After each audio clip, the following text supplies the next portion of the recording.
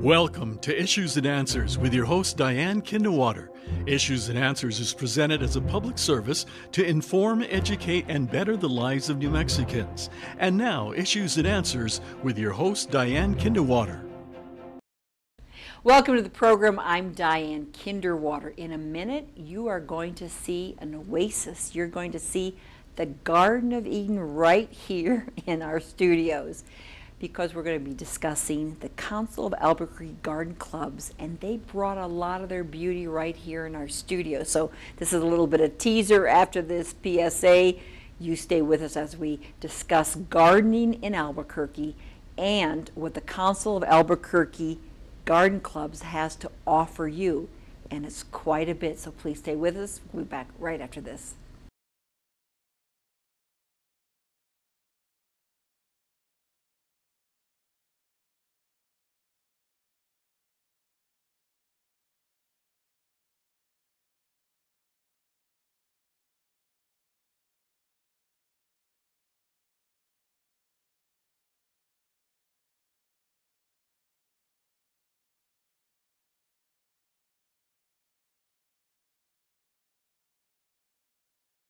I promised you a Garden of Eden, and I've delivered it. We're like in an oasis here in our studios in Albuquerque. And I've got my gardening hat and I've got my kind of dirty gardening gloves with me as we discuss the Albuquerque, the Council of Albuquerque Garden Clubs with uh, Frances Robertson. Thank you so much, Frances. Thank you for bringing me this Garden of Eden. And a wide shot for Frances as well. There we go. You're welcome. Quite an effort, Frances. Thank you. Yes, it was an effort. it was delightful, though. These are gorgeous plants, and uh, they, some of them come from my garden, and some come from uh, Osuna Nursery, who, who were generous enough to let me borrow some, because I, I wanted to show what a xeric garden might look like, and we'll talk about that later. And that's a lot with the Council of Albuquerque Gardens. Um, since I invited you to be in the program, I learned a lot more about the Council of Albuquerque Gardens. You're going to give us the history, but I wanted to share that actually your facility on I-40 in Louisiana, if you haven't visited, you need to go there because you have so much to offer there, including a beautiful place like this that we can have a wedding, um, you can have a business meeting, you can have retreats at that facility, and we don't offer that very many places in Albuquerque. No, and it's a beautiful facility, and it came to be in the most interesting kind of way. Um, Los Altos Park was, uh, may, may, I talk about this? Sure. Uh, Los Altos Park was designated as a, as a park, and in that time, the Garden Council had been working and saving money for something like uh, since the 50s to have a building built. They uh, eventually, and I'd, I'd, like to talk more about this, but I don't think we want to get to this point now. But anyway, they got finally got the city fathers to get interested in it through much effort on their part, and uh, they they uh, raised a huge amount of money. The building cost in 1976. This was the amount, $190,000, and these garden clubs and people all over the city helped helped contribute. There were bake sales, there were plant sales, there were pie sales, there were festivals and fairs and everything, anything to do that would get people to come and get interested in Why the was it so, so important to have a private facility for the Council of Albuquerque well, Garden the originally Albuquerque had, believe, believe it or not, in the 50s, something like 29 garden groups. Not all garden clubs, but some of them were societies, some of them were just the Violet Society, etc. And so these 29 groups were in the same boat in this situation. They, um, they got together because our soil in, in New Mexico, in, in Albuquerque area, because we have the sandias, and most of our soil is um, eroded sandia gravel and sand and then clay. And it's a very difficult soil. And these, these garden clubs were having difficulty finding plants that would fit this difficult soil. So they kind of got together and started thinking in, as one how they could get the plants they wanted and what they needed. And um, early in the 50s, they elected a council. They got together and called themselves the council, where they had more, um, where they where they had more um, opportunity to buy and to to organize and to make a difference. So anyway, they got together. The council became the Council of Albuquerque Garden Clubs, which is the name. And um, anyway, they began then to realize that the garden center would be a really good idea. N- nobody believed it. The city fathers at that time in, in the 50s weren't interested, and they weren't even interested in the 70s. But these ladies that uh, per- persevered in the council, the, the leaders, Wow. they kept going, and it, it's a huge history. In 1960, in 1962, something like that, they started this fund. I mean, and the, the event of the building didn't happen until 76. And so they started this fund for this club, for this building, and they, they asked one of their members to be a representative for it. And what she did is she wrote all of the cities all over the, all over, all over the United States to find out they, she wrote the cities that she knew had the garden centers and talked to them about what were the advantages, what were the benefits for the city, why do it, was it worth it, blah, blah, blah. And she got all these positive reports back. So she took these positive reports, made a file, and took them to the city fathers, who really, they didn't get it. At that point, they didn't understand the, the importance of a garden center, that it could be this meeting place, that it could be some place that all of these clubs could come and solve problems for gardening. And gardening in, in Albuquerque and the New Mexico in general is not easy because we live, our, our elevation is about 4,200 to about 6,700 feet, and the soil is, as I just said, is extremely difficult to, to, to garden in. So people needed help, and they wanted help. And so what happened was um, they didn't give up. The city fathers weren't interested at that time. They came back later with a new plan some of the letters that they had received from these other cities had told them that uh, Sears and Roebuck had been most helpful in their development of their centers. So these ladies go to this Wow. is like this is like the 67. Uh, actually, it was 65. They go to Sears, which had which had just opened this new store in Coronado. You may remember. Yeah. I've, I've been here a long time. Coronado just opened in about what 65. So they went to the new store in 65 and said, "Would you be interested in, in letting us have a gardening information center?" Well, Sears was very generous. They said, "Why, yes, that'd be great." So they came and they did. They worked on Saturdays and Sundays and they answered questions. And Sears even set up a phone line for them so they could take calls. I mean, it was, it was really a wonderful community uh, organization together that made Yeah. this happen. Well, it lasted about a year, and then the uh, Garden Council realized that they were they weren't getting to, to enough people because Just Sears shoppers. just mainly. Sears shoppers. And and sometimes Sears would actually say, "Be sure you come because we've got the garden, Yeah. the Council of the Garden Club members here to answer your questions." So they, unless Sears advertised it, they really just had the Sears shoppers. So they said, "Well, we'll try something else." Well, at that point. Uh, they're, they're getting a little stronger and they meet the city council fathers again and they come up with a proposal that if they can get the money together, they, have, they were going to raise twen- $20,000 was their goal. Could they put the, put, they build this building downtown in a park? Well, the city father said no. Well, finally time went on and the city was growing. The city was The growing in those growing. 20 and years, Los sure. Altos Park came to be one of the was a wonderful park. And it was one, it was the finest park in Albuquerque at the time. This was like in the 70s. We're, we're, we're gone from, Yeah. from the 50s, 50s all the way up to the 60s, 70s. These ladies do years not give up. It's a whole new generation of gardeners who have not given up on this project. So anyway, um, in the 70s, they negotiated with the city. They said, we'll come up with this money. And five families, five Albuquerque families, put up the down payment to get a loan from the bank to secure the funds to assure the city that they could do it. This five family, th- they had to raise $60,000. But I. I don't know what $190,000 is Would what the building to cost. today, What that would be today. So what happened then? Well, what happened then is the city said, okay, you can build it on, on at Los Altos. So they did. And of course, there was a swimming pool there and the baseball court and all that sort of thing. And now there's a skate park right there.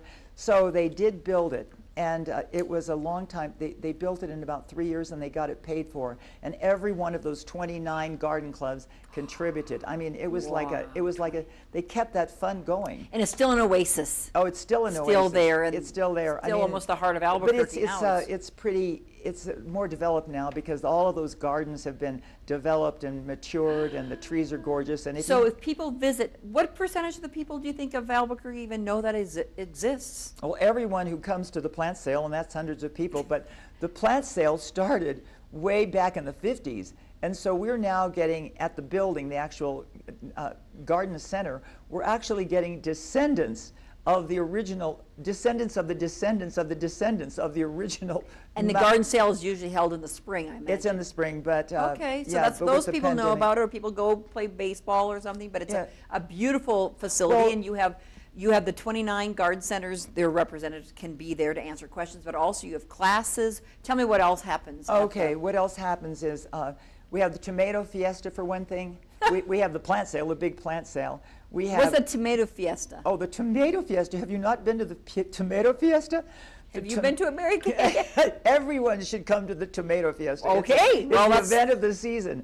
I mean, you come there. The tomato boys have been seeding. All the master gardeners have been seeding tomatoes, so they've got all these different varieties of tomatoes. They have a tomato testing line, and so you come by and you take a taste of this tomato, and you find out which tomato you want to buy or which tomato plant you want to buy. You have kids have face painting. There's all kinds of educational programs going on. It's just a, a wonderful What, event. what part of the year is that? It's August. It's August, and it will ha- probably happen this year because of the. uh, It will not happen? no, it probably will happen because Yeah. of the relief from the pandemic and from our restrictions. Would you say the tomato plant is one of the plants most grown in people's homes?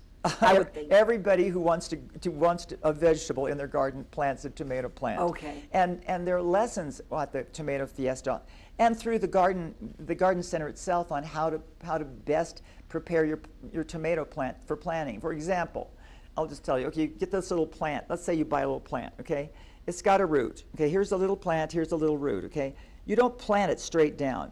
You dig your hole like this, and you plant a little bit of the stem into the ground, and you let that root come along horizontally with the soil. What happens? I think then? why, because it gets the nutrients and the water. And It doesn't get that- the water way down there. Yes, I wouldn't have thought that until you That's one showed of the things, but then that. the roots do this.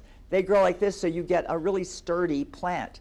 And you've, it, it's a wonderful, but how would you know that? I didn't know You wouldn't you know that unless you, unless you, of course, are, go to the tomato fiesta or, or a master gardener, take the master gardener program. That's something else that has been really helpful. But aren't there a lot of tomatoes grown in pots as well? Oh, big pots like Oh, this. big pots, but As a still with the matter of root fact- have to go- Yeah, because you can keep the soil perfectly right for the tomato. These big, you know, these big tubs. Lots of people do that. The tomato boys, uh, the Why do you tomato call experts. tomato? Who are the, because who are the they're- tomato boys? Well, the tomato boys, I, I don't know if they're still in existence, but when I the last time I was at the tomato at the Master Gardener program, they were still there, and that was just re- very recently. But they're guys that have their thing. Guys like vegetables. Guys like growing vegetables. Ladies for some ladies like it too, but you know when you kind of decide who's going to be the vegetable garden gardener, it's generally a guy, and guys love to plant vegetables and tomatoes are one of the things they love. So these guys got together and they always made a presentation about how about tomatoes, what kinds there were, how to plant them, when to plant them, what to do. what kinds are there? I mean, I Oh, oh, you're not Oh. asking your tomato boy. You're asking. Well, there's like there's the, you have the little yellow uh, sun sun drop Right, tomatoes. You have the cherry tomatoes. You have the big. Beef eater tomatoes, you have early ripening tomatoes, you have small tomatoes, you have Holy medium sized tomatoes, you have heirloom tomatoes, purple ones, yellow ones. Lots of heirloom tomatoes are, are you can find now, even in stores. So they do the festival in August just to prepare you for the coming season to what to buy because don't don't a lot of people start their tomatoes They start them early. but- early? yeah, and I think I think I'm right about the tomato fiesta. Okay, in, we'll in see. Ju- late they can go on your website, Yeah. the Council of Albuquerque Garden Clubs, Yes. to find out more information or about stop the, in. about to- the tomato fiesta. If we stop into the garden club, what do we see there? There are a lot of gardens around the club. Oh, there's a fabulous garden. Well, you're going to you're going to go into the entrance and you're going to find this gorgeous fountain, which was uh, the gift of one of the garden clubs. Uh, beautiful fountain, and all of the garden clubs have contributed to what's in this garden count, the garden center. All right, you go in. There's a hallway. There's a wonderful, huge, big meeting room, the patio room and the major room where we have the master gardener classes, and that is something else that the garden center provides a space for about 150 people during the master gardener training program that and, which lasts about three months from January, February, March, and it ends in April. Um, so what does it take to be a master gardener? it takes it takes attending a class every Tuesday for those for eight for through January, February, March, and part of April. You take a Okay. test. You take a test of the materials. You listen to these wonderful lectures with uh, people from experts from uh, New Mexico State University, from our local um, extension agency. Sarah Moran Duran, uh, Joe Seiss was one of those early extension agents. Joran Viers, who What's the advantage of being a master gardener? oh, the learning is incredible. But the obligation is also there too. You need, you need, presently you need 10 hours of classes every year. You need to take 10 hours worth of education. And you need to volunteer 40 hours. But I, I, I, I usually volunteer, my volunteer hours this year may be lower than ever, but I usually have about 180. So the, so the garden club, of course, is not owned by, it's on a city park, but it's really not run by the No, it's owned by the Council of Albuquerque Gardens. They own this They own building. They, that is one of the And they things. man it, it's no, no taxpayer and dollars. They, and they restore it, and they, they uh, take care of it, and they water it, and they. But you said walk, okay, we're walking in past the room for so the you're going to see master the gardeners. I want to hear two- about, the two, to two beautiful rooms. There's a lovely bathroom that's just been remodeled by one of our uh, Okay. members. Then you have a garden shop, which is garden shops are really something that the public ought to know about because you can buy there tax free, and they have all of the things that prob- most of the things that you need as a gardener. They have tools, they have decorative art, they have books on gardening, they have guides on wildflowers. seeds, seed packets? Seed packets, yes, and really quality seed packets. They have, I said gardening tools, essential gardening Yeah. tools. They have um, uh, supplies like um, uh, blood meal, things that you want to put in your garden, uh, uh, uh, fertilizer, grass fertilizer, huge bags Oh, of grass what? fertilizer. They have What's the soil difference between amenders. buying there and buying at a nursery? you don't pay tax But why don't you pay tax? because it's a, because the garden, the Council of nonprofit. Albuquerque Gardens is a 501 Okay, C3 wow. nonprofit, and that is one of the advantages of a nonprofit. And your mission is to promote. And we are good- nonprofit, actually. And your mission is to promote good gardening and provide guidance to the Right, well, community about. along that, b- Best, out of the right outside the um, garden uh, shop is a little room where the master gardeners man the hotline. The hotline, I don't, do you know what that is? Only because I'm prepared for the show, yes, I didn't know the before. hotline is the master. People can call in and say, "My mulberry has whatever," and blah blah blah, and they say, "What is wrong with it?" The master gardeners are there are two of them, and they they either know the answer or they um, say, "We'll call you back. We'll look it up and we'll find out." And they look it up and they find out. If they can't solve the problem, they send you to the extension agent and they solve the problem. But most of the time, most of the time, quite frankly, the problems that you have in, in gardening are water. Overwatering. Overwatering, Over- underwatering, infrequent watering. That's what happens. Or watering, watering irregularly. Oh. Irregularly. You've got to water regularly. Just like you, you've got to have water on a regular basis. You can't go for three days without it and then drink a ton. Oh, Neither wow. can plants. Also, what I like is that your facility is you, you rent it out for weddings Oh. and meetings and, Anything. It's a great place to get a wedding, a wedding reception. You can have a, a party there. You could have a graduation how party much does it there. cost to rent it? That you have to talk to to um, to the to the secretary there, the person who is our on-site manager. Is it used quite often? Oh, uh, very often. It wasn't used this year, unfortunately. No, of course, no, but it has been used. Yeah, Oh, yes, it's used all the time. And it can be decorated. I mean, we had graduation parties, we've had, you know, birthday parties, we've had all kinds of. Uh, Also, you cut, well, you bring flowers to the nursing homes and you sponsor the flower shows at the state fair. Tell me a little bit oh, about that. well, that is a gigantic. That is a gigantic Well, we've project. seen the flower show at the state fair, but I thought that was, No, you know who's doing that? No, You know who's you. organizing that? the Council of Albuquerque Gardens is organizing that. And Master Gardeners play a big role in, st- in staffing that. It's huge. You set up the tables, you set up the plants, you help people who don't know how to show their flower. And, that, and I would like to put a plug here for everybody who has a flower that they like. Please bring it to the flower show and enjoy it because it's, they'll sh- help you. All what these, building are you in? the well, the flower building. We've always been in the flower building. This a building dedicated to that. Okay. But they think they're going to move us, so I don't know where that's Okay, to be. but the flower building is usually where we, what I recall about it, you just see a lot of flowers on display. and don't you remember the flower arrangements and Yes. all judged Yes, first yes, prize, yes, second prize, and then there's an orchid display and a cactus display at the, the flower show, and the But that whole area is run, organized by the Albuquerque Council of, the Council of Albuquerque Gardens, absolutely, Wow. and staffed by the same people. That's quite a, com- that's quite a That's a commitment. huge, that's And- why, that's why the Garden Council is really such a benefit to the community as a whole. I mean, it- we're out there teaching, educating, holding classes, giving instruction. We're, we're ready to help. Also, you have a children's program. Yes, the a camp. garden- Garden camp. That's just, a- that's a new program, and that's just very exciting. We've got to get kids young, interested in the nature and the environment, and into. You do all that with the council. We do. Why is it called the council? The council. of- Okay. Real quick, because I, I- want to go through all the what these plans. Okay, and we're doing fine. another show with you as well. But Okay, 29 garden clubs have evolved into, or devolved into 16 stronger organizations, okay? So um, it, what happened is they needed somebody to kind of hold them together. Uh, to, alone, they weren't able to find the plants they needed, they weren't able to have much clout, but together, they, we are a, a complete garden unit. and that's why we're the Council of Albuquerque okay. Gardens. is there a membership? Yes, and, and I really don't know what the membership is, but you But have to dues be, if you you have to to be a be, and if you're in a garden club, you pay a certain percentage of your dues to the club, go to the garden council. And I, I it's, oh wait, I do know. For, for master gardener, it's fifty dollars to be a master gardener, and some of that money goes to the council. Like in some community communities I've been to, Frances, I've seen plots of land that they, the city has given for people to go plant. I, the community, I guess they're called Yeah, community gardens, Do right. we have those in? No, we don't have, We we don't don't have have- room for them.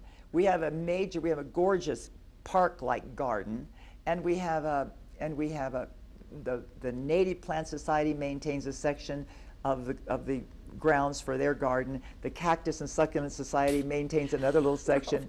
The Iris Society has a little Oh. section in the big garden for theirs. The Daylily Society does this. We have a, um, a na- Native Plant Society garden. I mean, it's just, it's How many, how many acres do you have? 4.5. That large. Yes, that's large. Anything inside, any di- displays inside or everything's outside? Mm, Well, it's just a nice building inside, but. Okay, but outside of you have four and a half Outside of the acres. Wow, all that huge variety. And, and the public is invited to come and tour those gardens. For free?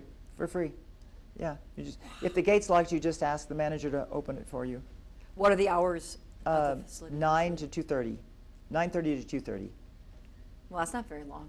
No, What happens at two thirty? The manager goes home.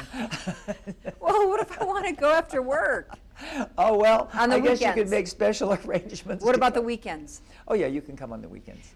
Is your, your priority goal, of course, is to help answer questions and beautify. You also work with the city on their beautification projects. Your council of Albuquerque Garden Yes. Clubs is an advisory to this. We are, that's true. That's a big role. Uh-huh. It's a huge role. Uh, you just said something about, um, The time, nine thirty to two thirty. Nine thirty to two thirty.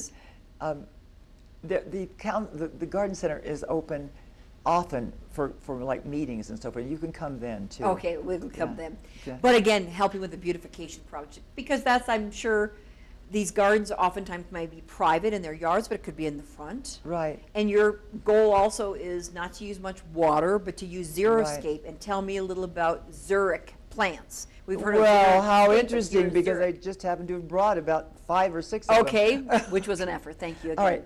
Now, you want me to tell you about the xeric plants? All right. And we only have a few minutes left. Okay. These, all of these plants are xeric, and that, what that means is they're not zero landscape plants. They are xeric, X-E-R-I-C, which means they will thrive in our climate, in our poor soils, and they will do it with as with little water. Not as they're not going to do it with no water. You have to water them, but they won't require as much water as other kinds of plants.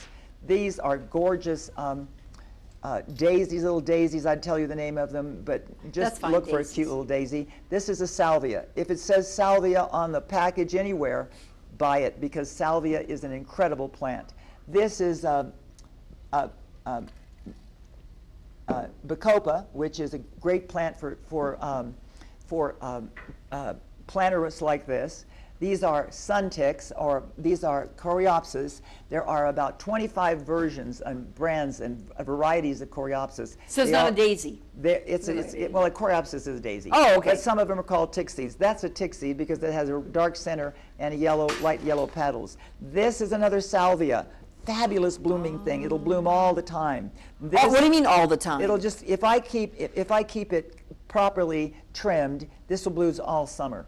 And, Really? and maybe into the fall. Salvia. Yeah, this is salvia, S-A-L-V-I-A. And if you see that on a, on a plant marker, just buy it. It's going to be wonderful. This is uh, rice grass.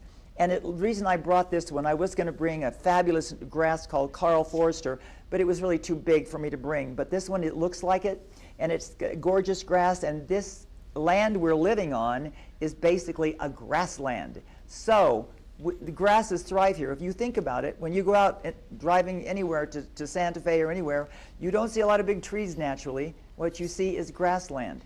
And that's why grasses, we're a grassland. That's why they thrive here. This back one is a Caryopteris, called a blue night Caryopteris, another plant that is just gives and gives and gives and won't give out on you.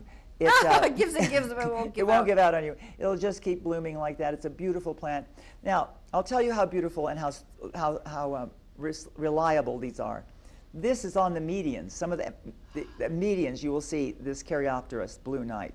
You will see grasses on the medians. You will even see salvias on the medians. And you will see a lot, if you see a plant on a median, you know that that's going to be a plant that's a xeric plant because that's the way they're designed. That's it. How much water does it need if you plant it in your backyard? Not very much, but you have to. Pl- that that depends a lot on your backyard.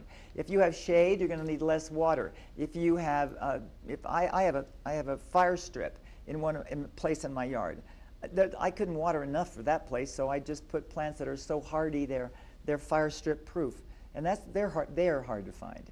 So oh, that was another thing I wanted to add. You know, if you see on a label and it says full sun, that does not mean full sun Albuquerque, New Mexico. That's really you full sun our full sun because we're so high, our altitude is so high, we have um, very little to protect us, very little atmosphere to protect us from the sun, and we need to have some, some relief. No plant can just take it. The ones that can take it are the ones that you can go out, uh, patchy plume probably can take full sun, or can, it has to, and a lot of cactus and a lot of succulents can take it, but you got to be careful with that. Don't take that literally on a plant. If we need more information, where can we get it, Frances? Where you can get it from me? Or You no, can where get you can from get it from the, the Council of Albuquerque Garden call, Clubs. the, call the hotline. Call the hotline. What number is that? Uh, I'm sorry, I don't know that. Oh, you can call 296 296 6020. That'll get you to it eventually. The hotline. Right. Do you have a web page? Uh, yes. And uh, it's uh, albuquerquegardencenter.org. That's easy. They can That's find easy. the number yeah. there. You'll find all that material there. You are a delight. You have a passion for oh, gardening. I do. I love it. And we are called what here? High high desert? What High desert, high altitude, desert environment, blazing sun. okay? but beautiful nonetheless. beautiful. And if you want to see more beauty, visit the Council of Albuquerque's garden clubs right over I-40 in Louisiana. Thank you so much. Appreciate you, Frances Robertson, the uh, publicity chair for this committee. So we'll have her on again with more gardening tips for you. Thanks for watching. Make it a great week with your family. We'll see you next time. Bye-bye.